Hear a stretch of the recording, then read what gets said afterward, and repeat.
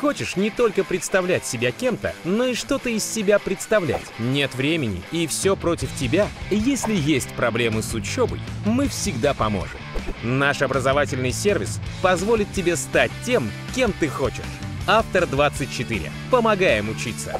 Получи помощь от опытных преподавателей с курсовой, контрольной, рефератом или дипломом по ссылке в описании. Здесь мило. Да.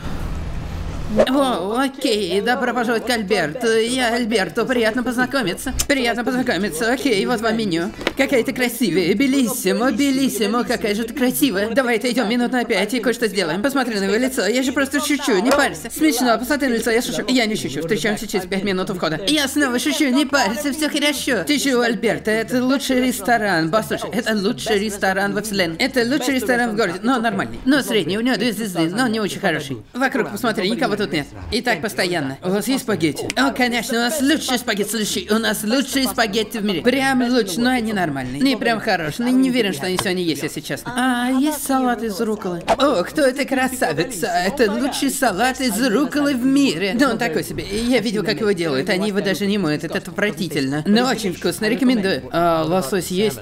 О, я тебя и не заметил. Посмотри, какой силач, какие мускулы. У нас лучшая рыба в мире, даже во вселенной. Тогда мне рыбу. У нас нет сегодня рыбы. Я не верю в приготовление рыбы. У меня была рыбка ветчанца, она очень вкусная. Очень рекомендую рыбу. Слушайте, я не понимаю, что происходит. Я запуталась. Да, вы сначала говорите одно, а потом другое. У вас что, биполярка? Ты что сказал?